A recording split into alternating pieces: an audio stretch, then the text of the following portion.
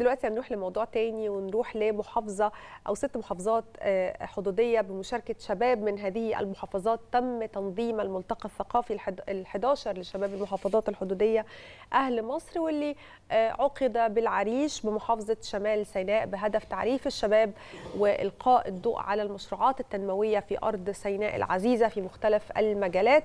وده بعد عودة الأمن والأمان ليها بفضل تضحيات أبنائنا المخلصين. طبعا عشان نعرف تفاصيل أكتر عن ملتقى أهل مصر وفعالياته في العريش من الأستاذ أحمد يسري مدير عام ثقافة الشباب والعمال بالهيئة العامة لقصور الثقافة. اللي صباح الخير عليك يا فندم. أهلا وسهلا صباح الخير يا أستاذ محمد صباح الخير يا أستاذ وسام يا أهلا بيك. طبعا بكل تأكيد هو ملتقى مهم للغاية أن يكون فيه موجود شباب من محافظات مختلفة لمعرفة ما يحدث وما حدث بالفعل على أرض العريش. لكن عايزين نعرف ما هو برنامج أهل مصر؟ عايزين نفهم عنه أكتر. برنامج أهل مصر هو برنامج يعني رئاسي تطلقه الهيئة العامة تطلقه وزارة الثقافة بقيادة الأستاذة نيفين سويلم الأستاذة نيفين سويلم وبيشرف عليه الأستاذ المخرج الكبير الأستاذ هشام عطا رئيس مجلس إدارة الهيئة العامة لأصول الثقافة. البرنامج في دورته ال11 المرة دي كان إحنا اطلقناه في 10 اماكن قبل كده في 10 مواقع من المناطق الحدوديه يعني كنا في الأسمرات وأسوان ومطروح والغردقة وبورسعيد والوادي الجديد ودمياط وسيوه والأقصر كانت آخر دورة. أما المرة دي فكان ليها مكانة خاصة وحيثية خاصة لأنها في أرض سيناء الحريرة طبعا بعد الأحداث اللي كانت بتتم فيها. إحنا البرنامج بيضم 15 شاب وفتاة من كل محافظة حدودية من أنا ذكرتها دي بالإضافة إلى 10 إلى 15 برضه من القاهرة. بهدف دمجهم مع بعض ورفع روح الولاء والانتماء لديهم وتعريفهم أماكن سياحية. يعني ما بيقدرش الأبناء حلاق الابناء حلايب وشلاتين إن هم يروحوا سيوة مثلا وما بيقدرش الابناء الوادي إن هم يروحوا أسوان. فإحنا من هنا بنعرفهم برضه الأماكن السياحية بنعرفهم مصر كلها شكلها بيبقى موجود معانا 100 شاب وفتاة منهم. بنشارك معاهم بيشاركونا في كل حاجة. بنعمل لهم ورش فنية. الورش دي بيكون برضو الهدف منها أساسا إن هم يتعلموا صنعة. أنت عارف حضرتك البطاله بتبقى في وقت من الأوقات موجودة. فإحنا طبعا دي بتقيهم من دوت. بنعلمهم الصناعه وإزاي الحرفة اللي بيتمكنوا منها يقدروا يستفيدوا منها ويفتحوا باب رزق ليهم جديد. حتى لو في بيته في مكان صغير جدا يقدر يعمل ورشة جلود صغيرة خالص يقدر يعمل طرق على النحاس يقدر يعمل الديكوباج الحاجات دي بتتباع والحرف التراثية والبيئيه بقت يعني حاجة مهمة جدا دلوقتي بتتباع يعني. حضرتك يمكن اتكلمت عن إن أنتوا قد إيه العريش كان ليها طابع خاص عامة طيب هل كان OK. هل كان اختيار العريش حافز إنه أو الأمن والأمان ورجوع الأمن والأمان مرة ثانية العريش كان حافز ليكم لاختياركم هذه الواجهة تحديدا آه طبعا يا فندم. إحنا معالي وزير الثقافة الدكتورة نيفين نيفين الكيلاني كانت موجودة الأسبوع اللي قبل اللي فات في العريش في احتفالية العريش. وكان الهدف الأساسي إن إحنا نخش بقى في الوقت دوت علشان نقول نوجه رسالة لكل أهالي مصر وكل العالم إن إحنا العريش آمنة مطمئنة. آه ولادها آه يعني في في في في انتظار كل مصر إنهم كانوا محرومين من من أقرانهم في, في, مصر. آه بجد إحنا عشنا أسبوع هناك ما شفناش غير الخير كله من أهالي العريش ما شفناش غير الأمن والأمان اللي يعني ربنا يخلي جيش مصر ويخلي شرطة مصر. اللي فعلا خلوا العريش امنه مطمئنة وفي استقبال الناس كلها. الأهالي كمان يعني متعطشين في حالة تعطش للبرامج الثقافية والفنية وخلافه يعني من كل الجهات.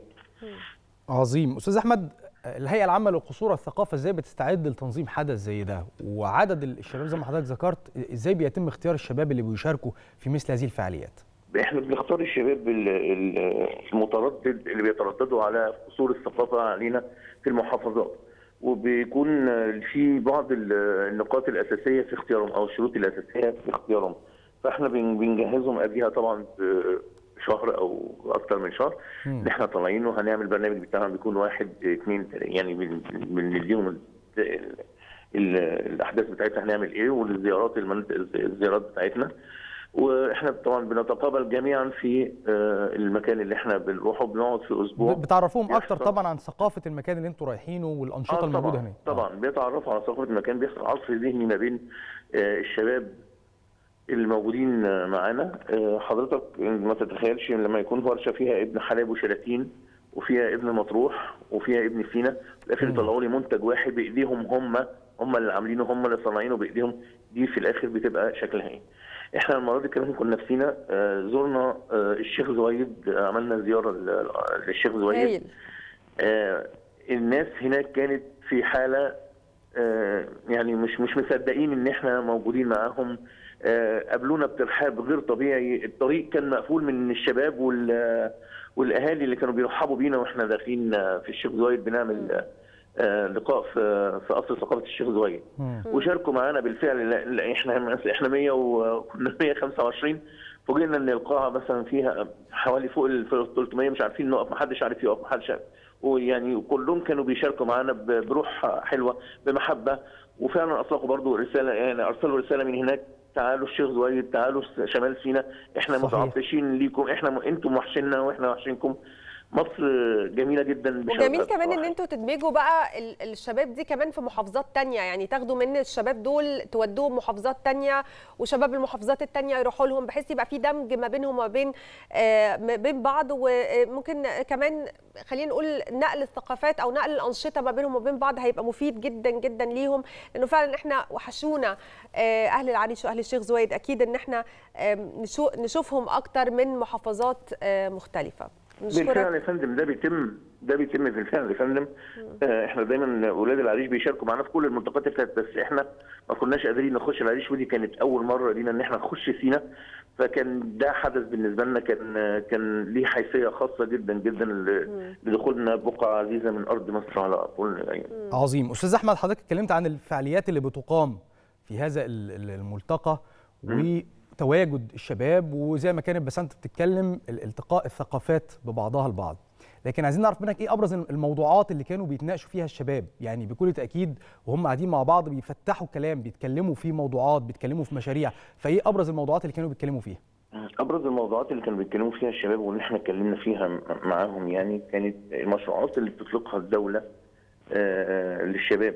المشروعات اللي بتجهزها الدولة للشباب اتكلمنا معاهم في في كذا موضوع تاني مناهضه الإرهاب تغيير الفكر. حضرتك مكافحه المخدرات والادمان والمخدرات اتكلمنا معاهم في في, في مجموعة كبيرة. كل يوم كنا بنتكلم في موضوع جديد يمس قضية مهمة من قضايا الشباب. كنا يوميا وحتى أثناء الورش وهم شغالين كان بيبقى في معانا دكاترة بيقعدوا يتحدثوا معاهم. هم وهم شغالين في الورشة. بيتحدثوا معاهم بيعملوا عصف ذهني في موضوع ما من الموضوعات اللي بتهم كل فرد؟ يعني حضرتك بدل ما كنا يعني غير إن إحنا كنا بنجمعهم كلهم في مكان واحد ونديهم ويبقى في معاهم لقاء لا كنا كمان بنشوف القضايا اللي خاصة بكل واحد. يعني الورشة مثلا بيبقى فيها 15 أو 17 لا دي على صغير بقى فإحنا كنا بنقعد معاهم أنت مشكلتك إيه؟ وأنت بتعاني من إيه في مكانك؟ بتعاني من إيه في مكانك؟ وكان بيتحدثوا معاهم الدكاترة والأساتذة اللي كانوا موجودين معانا في في الملتقى يعني. عظيم كل شكر ليك يا فندم أستاذ أحمد يسري مدير عام ثقافة الشباب والعمال بالهيئة العامة لقصور الثقافة شكرا جزيلا لحضرتك.